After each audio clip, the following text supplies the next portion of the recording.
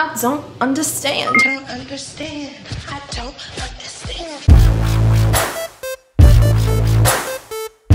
What's up dolls? It's me, Kayla Lachey, and today I am here to explain all of the things that I just don't understand. I am not an aggressive driver, but there are things that you can do that will just totally mess up my mood. If I'm in my own lane, minding my own business, and then here you come, trying to skirt all up in my lane without using your turn signal, no, no, no, no, no. I will stare you down. I don't understand why people are in such a rush to honk at me when the light just turned green. Now I'm really gonna take my time. I don't understand how people sleep with socks on. If I happen to fall asleep with my socks on, you best believe I'll be waking up in the morning to them being on the floor. It's like I'm suffocating within my own bed sheets, you know? Like I just feel like my body can't breathe.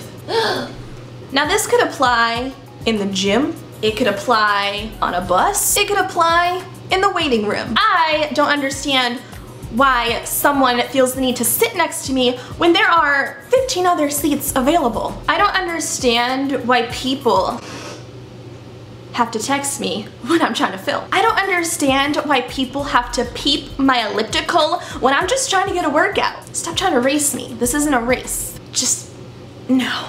I don't understand why you park in a driveway, but you drive on a parkway. I don't understand why people pay $1.29 for one song. You know, I stopped buying songs a long time ago after iTunes raised their price from 99 cents. I don't understand why strangers feel the need to ask me how my day is going. You know, when really they could care less. I'm one of those people. I mean, if you insist, I can tell you how my boyfriend just broke up with me. This morning I got my foot ran over by the car, my wallet got stolen, and I missed a meeting this morning. So, thank you for asking. I don't understand why I keep going back to the refrigerator every two seconds hoping that new food will just magically appear. Never does. Why can't I just be Beyonce's friend? She's perfect.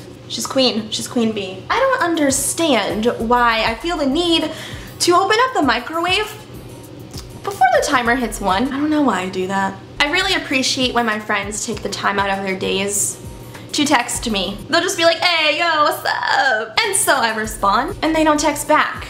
Okay.